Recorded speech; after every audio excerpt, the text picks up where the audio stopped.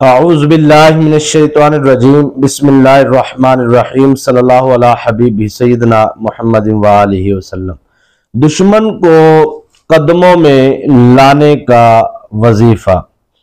दुश्मन जो सा है, वो उसका किसी किस्म का कोई भी आप पर हमला करने की कोशिश है। वो तावीज़ात या जादू के ज़रिए या फिर अपनी ताकत के बलबूते पर। तो आपने उससे किस तरीके के साथ उसे रोकना है, ये आज आपको वजीफ़ा और जो इस वजायफ के जो जो फवायद हैं, वो मैं आपकी खिदमत में अर्ज़ करूँगा।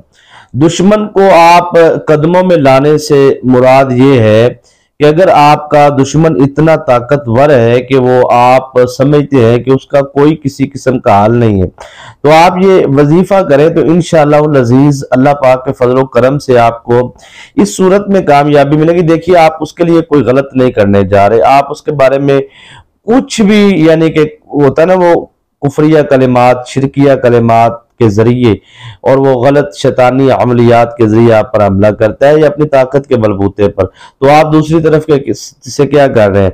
आप दूसरी तरफ़ से रूहानी वजीफा कर रहे हैं। आप उसकी जो शैतानी ताकतें आपको नुकसान पहुँचाने के लिए आई थी, वही ताकतें वापस जाएँगी और उसी की ही तरफ़ से आई हुई जो चीज़ें हैं जब उसकी तरफ़ वापस पलटेंगी तो फिर उसको रोकना शायद मुश्किल हो जाएगा। याद रखिएगा आमलीन हजरात जो है वो जहरी बात है चाहे मुरी है या काला जो भी है करते हैं वो अपना आसार लगाते हैं। तो जब वो वापस पलटेंगे तो वो अगर किसी ने उस, उसने किसी आमिल से करवाया तो जहरी बात है उसकी तरफ़ तो वापस नहीं पलटेगा वो आसार में होगा। लेकिन जो है जिसने करवाया है जिसने किया उसको नुकसान ही लेकिन करवाने वाले को शदीद तरीन नुकसान। उसकी तरफ़ जब वापस चीज़ें जाएँगी तो हमने ये जहन नहीं बनाना कि हमने किसी को नुकसान पहुंचाना है या हमने किसी का गलत करना है। ये अल्लाह ताला की तरफ़ से है। जिस तरीके से अगला कार्रवाई करता है तो आपने तो सिर्फ़ वजीफा करना है।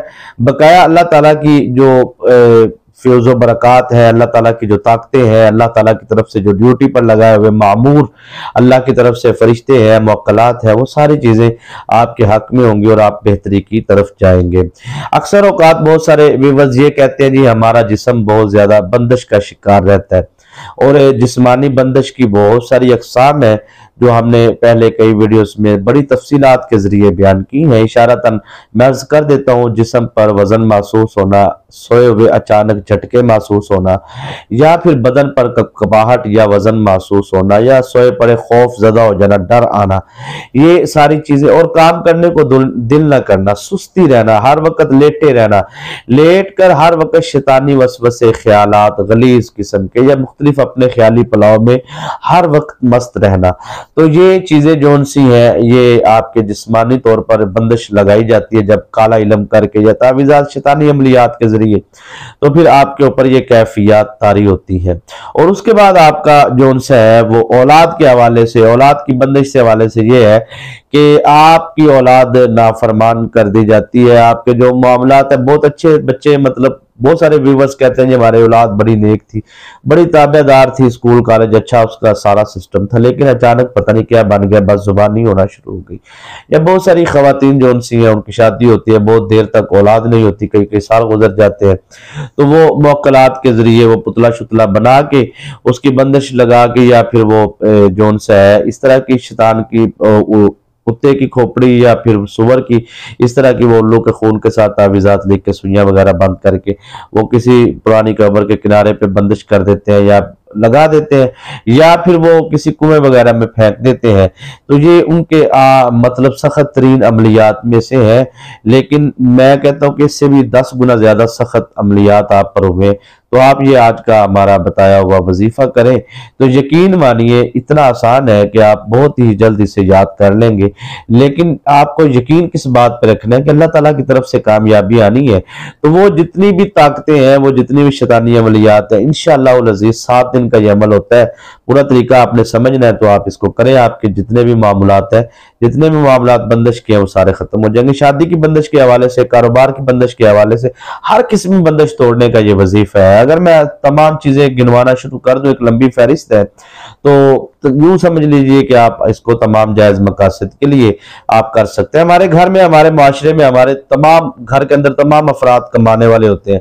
लेकिन होता क्या है कि हमारे घर से तंगदस्ती वगैरह के मामला जो होते हैं, गुर्बत के मामला जो होते हैं, वो वही के वही टस से मस नहीं होते। हम एक तरफ़ वजाह भी करते हैं और एक तरफ़ हम तबलीग पे भी जाते हैं, एक तरफ़ हम नमाज़ भी पढ़ते हैं, एक तरफ़ हम सारा कुछ करते हैं और दूसरी तरफ़ अपने मामला भी उसी तरह ही करते हैं, जिस तरह हमारी ज़िंदगी के अंदर असद भी बोगस भी, गुनाह भी, शिरकिया, कुफरिया, करेमात के साथ, दुआएँ भी। हराम के अंदर भी जो उनसे हमारी दिलचस्पी होती है, सूद के अंदर भी हमारी दिलचस्पी होती है। गलीज गुफ्तगु गलीज गुफ्तगु गलीज गुफ्तगु, ये तीन दफ़ा मैंने लफज दोहराया ये यकीन मानिए, इंसान को जो है ना, वो रूह से जवाल की तरफ़ लेके आते वक्त एक सेकंड लगाता है। क्योंकि हमारे अल्फाज ही हमारी ज़िंदगी का बहुत सारी चीज़ों के अंदर, अगर मैं इसके ऊपर गुफ्तगु करूँ तो बहुत लंबी बात हो जाएगी। तो ये है कि आप अपने अल्फाज का चुनाव ऐसा करें जिसके अंदर कोई ऐसी बेदबी का ना हो, जिससे अल्लाह नाराज़ ना हो जाए। ठीक है जी? तो मुशरकाना महफिले और मुशरकाना माहौल के अंदर। और ये सारी चीज़ें आप, इन सारी चीज़ों से अगर आप महफूज रहते हैं और अपने सगीरा कबीरा गुनाहों से सच्ची तोबा करके तो आप ये वजीफा करते हैं तो पहली शर्त यह है कि आपने बदबूदार चीज़ का इस्तेमाल नहीं करना जिससे बदबू मुँह से पैदा हो या जिसम से बदबू पैदा हो या लिबास से बदबू आए तो आपने इन चीज़ों का ख्याल रखना है। अमल शुरू करने से पहले उब तोफीक आपने सतात के मुताबिक सदके का मामूल रखना है। रोज़ाना की बुनियाद पे देना चाहे या आप सात दिन अमल करना है तो पहले एक दिन दे दें, बस एक दफ़ा ही काफ़ी है, जैसे आपकी मर्ज़ी है। तो जिसम लिबास इसके लिए पाक होना बहुत ज़रूरी है। कोशिश करें कि आप खुशबू का इस्तेमाल करें। अगर आपने नया सूट सिलाया तो वो आप इसी वजीफे के लिए, सात दिन के लिए आप इस अमल के लिए रख लें। तो इन लजीज अल्लाह पाक की तरफ़ से आपको बहुत जल्दी कामयाबियों की खुशखबरियाँ मिलना शुरू हो जाएँगी। खसूसी दरूज शरीफ की दुआ में अगर आप शामिल होना चाहते हैं तो आप कमेंट करें इनशाला आपको शामिल कर लिया जाएगा। ये अमल आपने सात दिन करना है जी। तो सात दिन के अंदर अंदर आपको, आपकी कामयाबी मिल जाएगी। दरमियान में आपने छोड़ना नहीं है।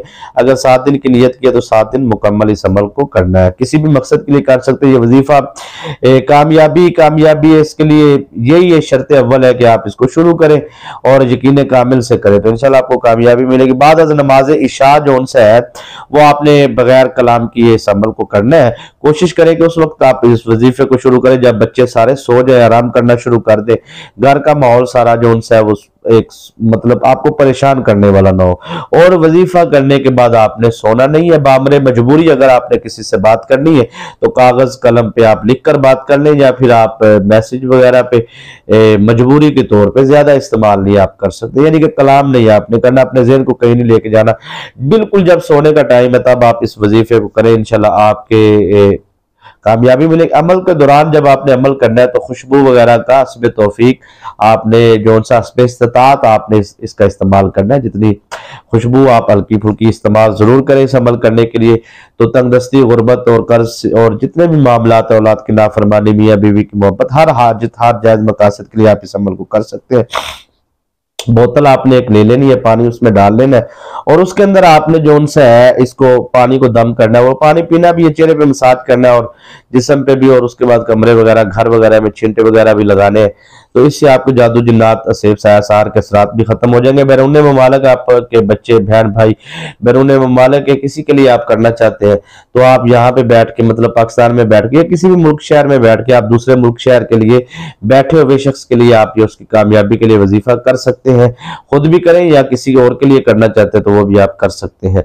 आपने पढ़ना क्या तरीका? आपने समझना ईशा की नमाज़ के बाद आपने बैठ जाना है चार पाई पे लेटे लेटे भी पढ़ सकते हैं बैठ के भी पढ़ सकते बाकायदा एहतमाम कर, करके आप पढ़ते हैं अगर मतलब जिस तरह पीछे मैंने सारी शराय बता दी है तो अगर किसी ने स्किप करके वीडियो देखी है तो रिक्वेस्ट है पहले शराय समझ लें शराय के बगैर इस अमल को ना करें कोशिश किया करें मुकम्मल वीडियो देखा करें जिन दोस्तों ने अभी तक चैनल को सब्सक्राइब नहीं किया ज़रूर करें साथ लगे बेल आइकन के बटन को प्रेस भी कर लिया करें ताकि नई आने वाली वीडियो को नोटिफिकेशन भी आपको मिलता रहे। आपने जब रात को सोना है तो सोते वक्त आप जो उनसे बाकायदा एहतमाम फरमा लें या रात को सोते वक्त आप जिस तरह भी आपको मुनासिब लगता है। आपने द्रू शरीफ जो उनसे है, वो इस अमल का हिस्सा है, यानी कि द्रू शरीफ ही आज का हमारा वजीफा है। आपने समझना है।